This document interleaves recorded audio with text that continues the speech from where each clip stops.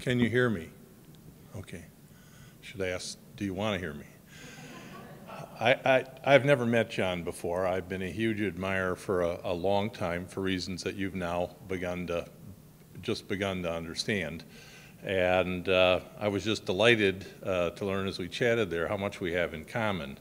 And uh, if, I didn't mean to interrupt the program by dominating his attention before he used to get up here.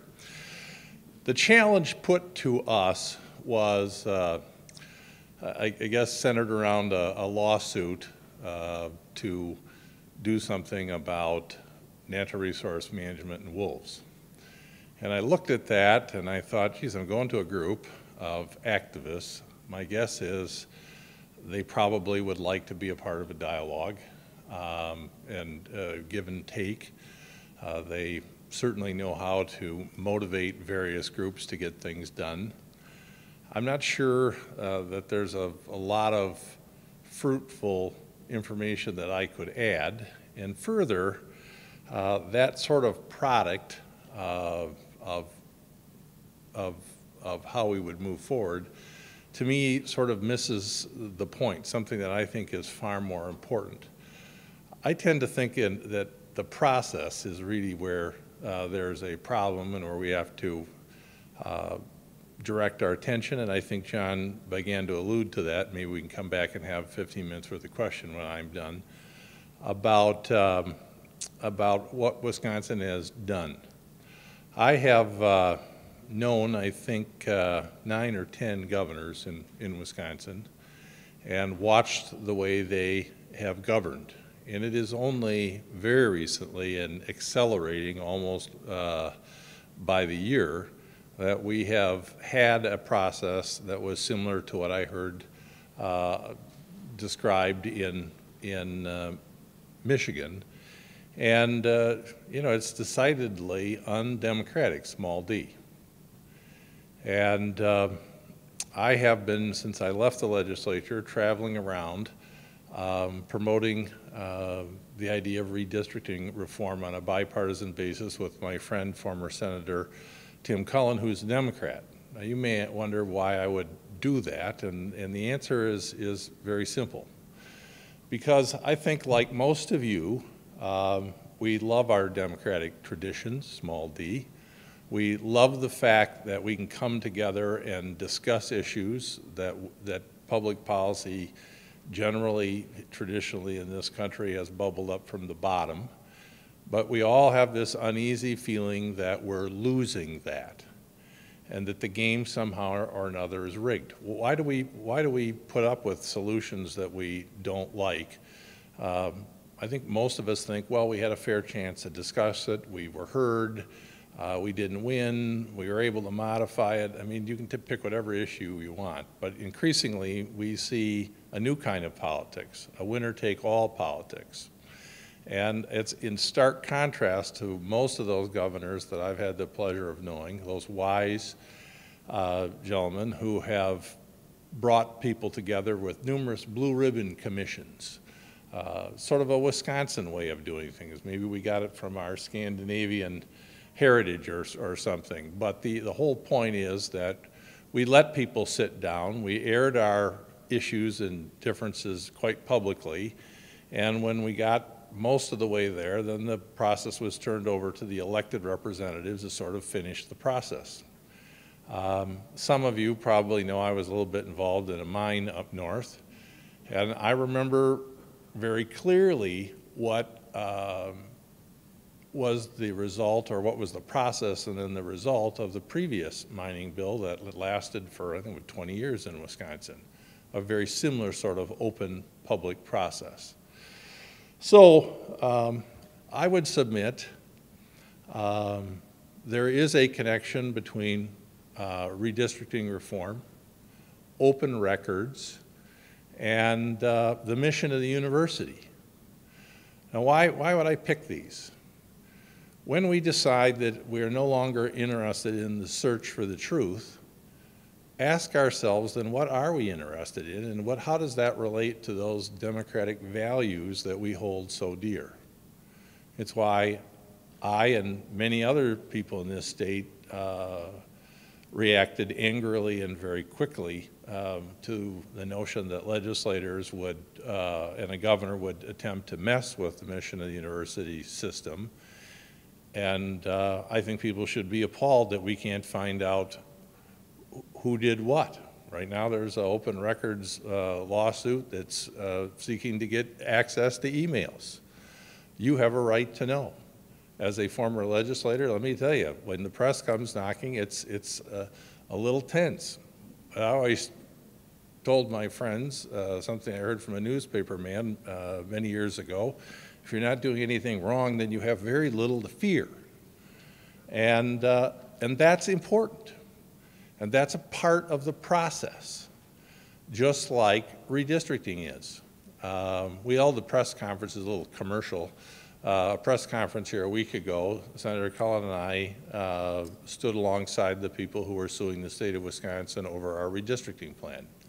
Now, some of you I know are smart enough and thinking quickly, going, wait a minute, Dale, didn't you vote for that plan? That's true, I did. Um, but I had no knowledge of how it was produced because we were told, you know, look, these things are always legal. We got lawyers, they're directing it. Um, you know, we're going to do this, it'll be all right.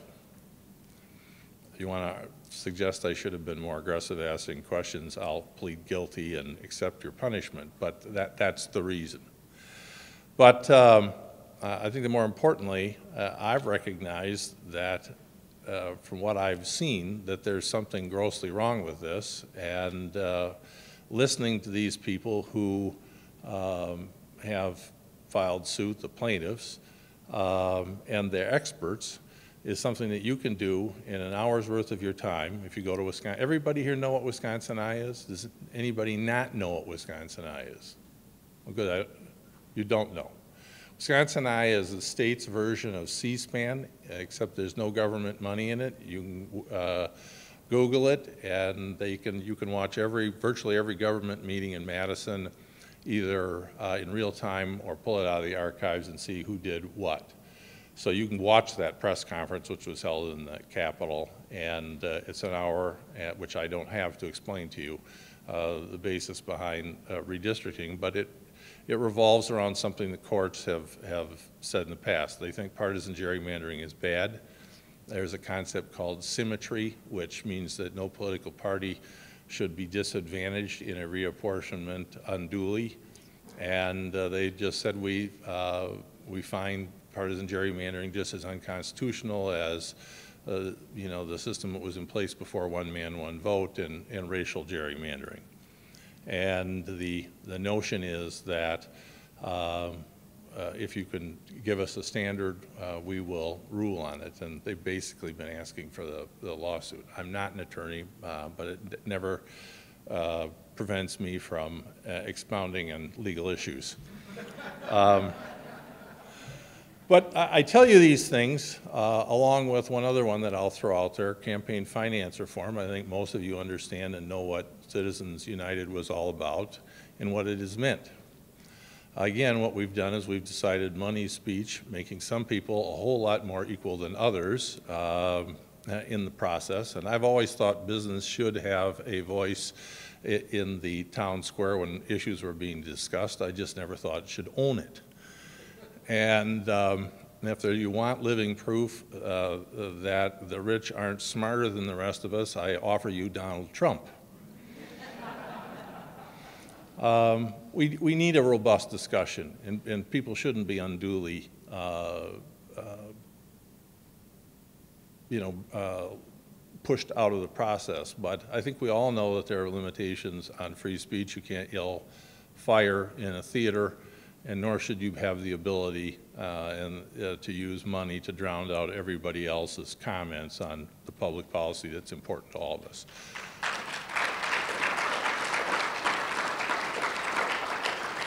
So my pitch to you is, let's not worry so much about this. Uh, the lawsuit's fine, don't get me wrong. I, I'm a hunter. I, uh, I bird hunt. That's what John and I were talking about. I worry about uh, being out in places where there are high concentrations of woods and losing my dog. Um, I know there's some of you maybe who don't believe in hunting, but let's just remain friends and, and we'll talk about that over a beer sometime. But, you know, I would like to have my views considered when these discussions are held. I tend to uh, defer to science, um, deeply distressed about the uh, firing of the scientists in the Department of Natural Resources.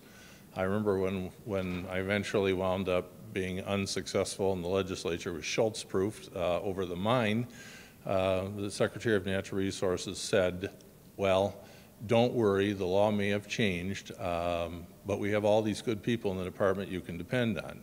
Right. There's the lie to it. Uh, right there. Uh, the canning of all these people who would have the knowledge to object. And even though the mine seems to be off the table now because the company decided to, because of world markets, not to move forward, it could come back any day, and Wisconsin is wholly unprotected with its current mining law. But my point is that these process examples I talked about is where I would really urge you put your energy because um, our tradition of having clean and open government is at risk. Um, and it doesn't just happen in Republican states. Um, gerrymandering has occurred in places like Massachusetts and Rhode Island for Democrats for years. Um, both parties are equally guilty, and I think they're guilty of taking the process away from the people.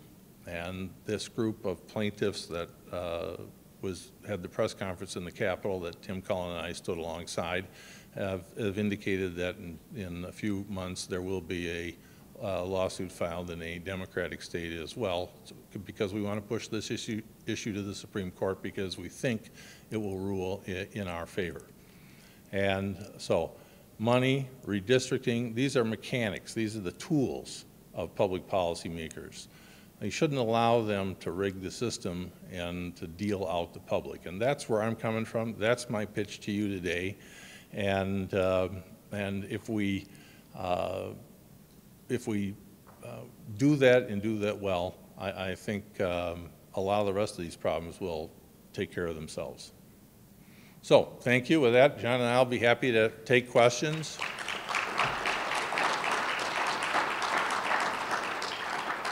If you just want to stand up and vent, that's, that's okay. Um, I, I know you'll feel better and we might learn something. I guess they're going to have a sit down. Um,